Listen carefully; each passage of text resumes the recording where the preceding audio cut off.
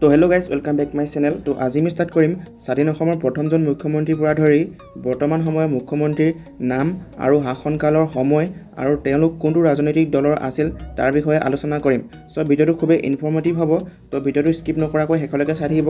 ত' ব'লক ভিডিঅ'টো এতিয়া ষ্টাৰ্ট কৰোঁ। ৰাইজ স্বাধীন অসমৰ প্ৰথমজন মুখ্যমন্ত্ৰী হৈছে লোকপ্ৰিয় গোপীনাথ বৰদলৈ। আৰু তেওঁ কামৰূপ সদৰ সমষ্টিৰ আছিল। তেওঁ ছাব্বিছ জানুৱাৰী ঊনৈছশ পঞ্চাছ চনৰ পৰা ছয় আগষ্ট ঊনৈছশ পঞ্চাছ চনলৈকে অসমৰ প্ৰথম মুখ্যমন্ত্ৰী স্বৰূপে নিয়োজিত হয়। আৰু তেওঁৰ কাৰ্যকাল আছিল এশ বিৰান্নব্বৈ দিন। লগতে তেওঁ আছিল ভাৰতীয় জাতীয় কংগ্ৰেছ দলৰ। অসমৰ দ্বিতীয়জন মুখ্যমন্ত্ৰী আছিল বিষ্ণুৰাম মেধি। তেওঁ হাজো সমষ্টিৰ আছিল ন আগষ্ট ঊনৈছশ পঞ্চাছ চনৰ পৰা সাতাইছ ডিচেম্বৰ ঊনৈছশ সাতাৱন্ন চনলৈকে অসমৰ মুখ্যমন্ত্ৰী পদত আছিল।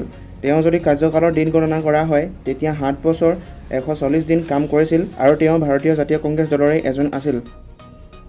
অসমৰ তৃতীয়জন মুখ্যমন্ত্ৰী আছিল বিমলা প্ৰসাদ চলিহা তেওঁ আঠাইছ ডিচেম্বৰ ঊনৈছশ সাতাৱন্ন চনৰ পৰা ছয় নৱেম্বৰ ঊনৈছশ সত্তৰ চনলৈকে অসমৰ মুখ্যমন্ত্ৰী আছিল। তেওঁ সোণাৰী আৰু বদৰপুৰ দুয়োটা সমষ্টিৰে আছিল। তেওঁৰ কাৰ্যকালৰ দিন চালে দেখা যায় যে তেওঁ মুঠ বাৰ বছৰ তিনিশ তেৰ দিন কাম কৰে আৰু তেওঁ ভাৰতীয় জাতীয় কংগ্ৰেছ দলৰ আছিল। অসমৰ চাৰি নম্বৰজন মুখ্যমন্ত্ৰী হৈছে মহেন্দ্ৰ মোহন চৌধুৰী। তেওঁ পূব গুৱাহাটী সমষ্টিৰ আছিল আৰু তেওঁ এঘাৰ নৱেম্বৰ ঊনৈছশ সত্তৰ চনৰ পৰা ত্ৰিছ জানুৱাৰী ঊনৈছশ বাসত্তৰ চনলৈকে মুঠ এক বছৰ চল্লিছ দিন কাৰ্যকাল ধৰি কাম কৰে আৰু তেওঁৰ দলটো আছিল ভাৰতীয় জাতীয় কংগ্ৰেছ। আৰু অসমৰ পাঁচ নম্বৰজন মুখ্যমন্ত্ৰী হৈছে শৰৎচন্দ্ৰ সিংহ। তেওঁ পূব বিলাসীপাৰা সমষ্টিৰ পৰা একত্ৰিছ জানুৱাৰী ঊনৈছশ বাসত্তৰ চনত অসমৰ মুখ্যমন্ত্ৰী পদত নিয়োজিত হয়। আৰু তেওঁ বাৰ মাৰ্চ ঊনৈছশ আঠসত্তৰ চনলৈকে অসমক শাসন কৰে। তেওঁৰ মুঠ কাৰ্যকালৰ দিন আছিল ছয় বছৰ চল্লিছ দিন আৰু তেওঁৰ ৰাজনৈতিক দলটো আছিল ভাৰতীয় জাতীয় কংগ্ৰেছ। আৰু অসমৰ ছয় নম্বৰজন মুখ্যমন্ত্ৰী হৈছে গোলাপ বৰবৰা। তেওঁ তিনিচুকীয়া সমষ্টিৰ পৰা বাৰ মাৰ্চ ঊনৈছশ আঠসত্তৰ চনৰ পৰা চাৰি ছেপ্টেম্বৰ ঊনৈছশ ঊনাশী চনলৈকে অসমৰ মুখ্যমন্ত্ৰী আছিল। তেওঁ মুঠ কাৰ্যকালৰ দিন আছিল এক বছৰ এশ ছয়সত্তৰ দিন আৰু তেওঁ জনতা পাৰ্টী আছিল। অসমৰ সাত নম্বৰজন মুখ্যমন্ত্ৰী হৈছে যোগেন্দ্ৰ নাথ হাজৰিকা। তেওঁ ন ছেপ্টেম্বৰ ঊনৈছশ ঊনাশী চনৰ পৰা এঘাৰ ডিচেম্বৰ ঊনৈছশ ঊনাশী চনলৈকে অসমৰ মুখ্যমন্ত্ৰী আছিল আৰু তেওঁ খুব কম দিনৰ বাবে অসমৰ মুখ্যমন্ত্ৰী আছিল। তেওঁ মুঠ কাৰ্যকালৰ দিন আছিল তিৰান্নব্বৈ দিন আৰু তেওঁ দুলীয়াজান সমষ্টিৰ পৰা আছিল আৰু লগতে তেওঁৰ ৰাজনৈতিক দলটো আছিল জনতা পাৰ্টী।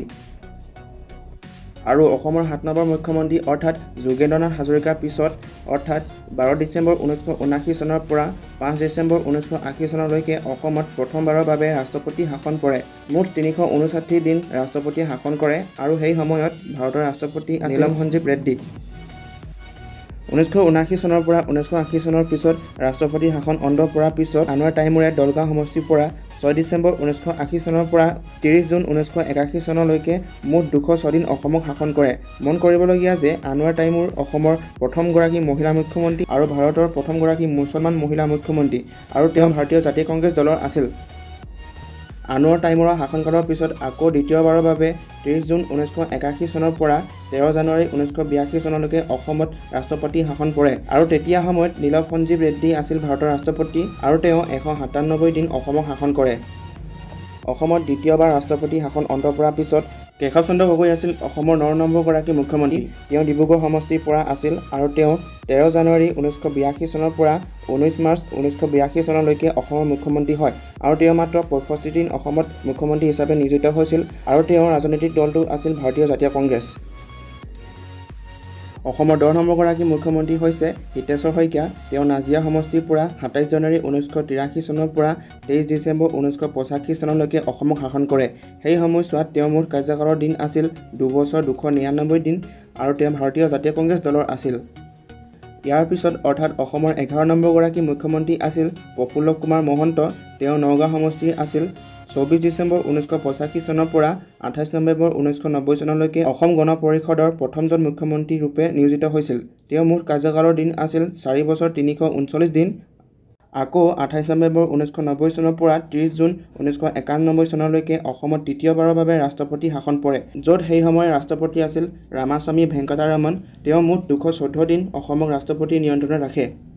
অসমত তৃতীয়বাৰৰ বাবে ৰাষ্ট্ৰপতি শাসন অন্ত পৰাৰ পিছত হিতেশ্বৰ শইকীয়া পুনৰ নাজিৰা সমষ্টিৰ পৰা ত্ৰিছ জুন ঊনৈছশ একানব্বৈ চনৰ পৰা বাইছ এপ্ৰিল ঊনৈছশ ছিয়ান্নব্বৈ চনলৈকে মুঠ চাৰি বছৰ দুশ সাতান্নব্বৈ দিন মুখ্যমন্ত্ৰী স্বৰূপে কাম কৰে। ইয়াৰ পিছত অৰ্থাৎ অসমৰ তেৰ নম্বৰগৰাকী মুখ্যমন্ত্ৰী আছিল ভূমিধৰ বৰ্মন। তেওঁ বৰক্ষেত্ৰী সমষ্টিৰ পৰা বাইছ এপ্ৰিল ঊনৈছশ ছিয়ান্নব্বৈ চনৰ পৰা চৈধ্য মে ঊনৈছশ ছিয়ান্নব্বৈ চনলৈকে অসমৰ মুখ্যমন্ত্ৰী পদত নিয়োজিত হয়। মন কৰিবলগীয়া যে মাত্ৰ বাইছ দিনৰ বাবেহে তেওঁ মুখ্যমন্ত্ৰী পদত নিয়োজিত হৈছিল আৰু তেওঁৰ ৰাজনৈতিক দলটো আছিল ভাৰতীয় জাতীয় কংগ্ৰেছ দল। ইয়াৰ পিছত পুনৰ দ্বিতীয়বাৰৰ বাবে প্ৰফুল্ল কুমাৰ মহন্তই বৰহমপুৰ সমষ্টিৰ পৰা পোন্ধৰ মে ঊনৈছশ ছিয়ান্নব্বৈ চনৰ পৰা সোতৰ মে দুহেজাৰ এক চনলৈকে পাঁচ বছৰ দুদিন শাসন কৰে। তেতিয়াও তেওঁ অসম গণ পৰিষদ দলৰে আছিল। প্ৰফুল্ল কুমাৰ মহন্তৰ পিছত সকলোৰে পৰিচিত তৰুণ গগৈ আছিল অসমৰ পোন্ধৰ নম্বৰগৰাকী মুখ্যমন্ত্ৰী।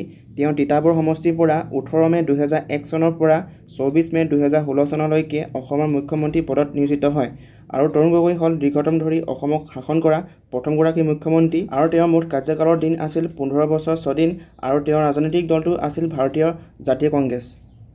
তৰুণ গগৈ শাসনৰ অন্ত পৰাৰ পিছত অৰ্থাৎ সৰ্বানন্দ সোণোৱাল হৈছে অসমৰ ষোল্ল নম্বৰগৰাকী মুখ্যমন্ত্ৰী।